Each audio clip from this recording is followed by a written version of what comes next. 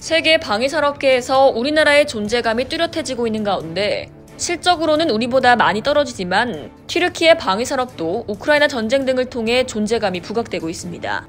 튀르키의 방위산업 제품하면 바이락타르 TB2 드론 외엔 잘 생각나지 않는 분들이 많을 겁니다. 하지만 파키스탄에 초계함을 판매하고 아프리카 지역에 전투 차량을 판매하는 등 인근 지역에 많은 양의 무기를 판매하고 있습니다. 튀르키의 방위산업 수출 실적은 2022년 40억 달러를 넘었고 2023년에는 60억 달러를 목표로 하고 있습니다. 세계 무기 수출 동향을 모니터링하고 있는 스톡홀름 국제평화연구소 자료에 의하면 2013년에서 2017년 대비 2018년에서 2022년 수출이 69% 늘어났고 세계 12위 수출국이 됐습니다. 같은 시기 우리나라가 74% 성장하면서 세계 9위에 올랐던 것에 비하면 작지만 눈여겨봐야 할 부분인 것은 사실입니다. 튀르키예의 방위 산업은 2014년 8월부터 집권하고 있는 레제프 타이이프 에르도안 대통령이 총리였던 2000년대 초반부터 본격화되기 시작했습니다. 에르도안 대통령이 야심차게 지원하는 튀르키예의 방위 산업이 최근 여러 다양한 성과를 홍보하고 있습니다.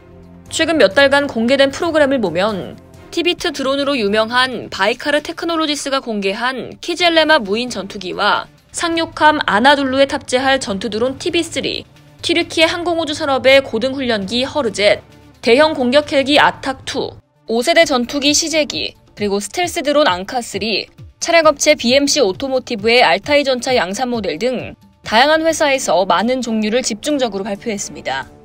개발 사업이 많다 보니 발표가 몰려서 그런 걸 수도 있지만 튀르키예의 정치적 상황을 놓고 볼 때 에르도안 대통령이 재선을 위해 무리수를 두는 것이 아닌가 하는 의문이 들고 있습니다. 이런 의문은 외국 매체들도 제기하고 있는데요.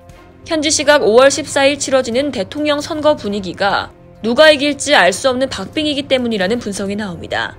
튀르키의 여론조사기관 대표도 에르도안 대통령이 자국민들에게 자신들이 강력한 방위 산업을 갖춘 지역 강국이라는 메시지를 던지면서 지지를 호소하고 있다고 밝혔습니다. 그는 이런 전략으로 1에서 2%의 부동층을 확보할 수는 있겠지만 그 효과는 주로 그를 지지하는 민족주의자 및 강성 이슬람 유권자층을 유지하는 데 있다고 분석했습니다. 하지만 이미 최악의 인플레로 고생하고 있는 민심이 어떻게 흘러갈지는 아무도 예측을 못하고 있는데요. 튀르키의 대선 결과는 내부에만 영향을 미치지 않습니다. 현재 튀르키예는 헝가리와 함께 스웨덴의 나토 가입을 막고 있는데 야당이 선거에 승리할 경우 스웨덴의 나토 가입이 이뤄질 것으로 보고 있습니다.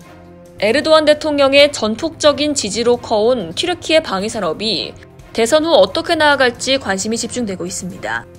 이상 월드 디펜스였습니다.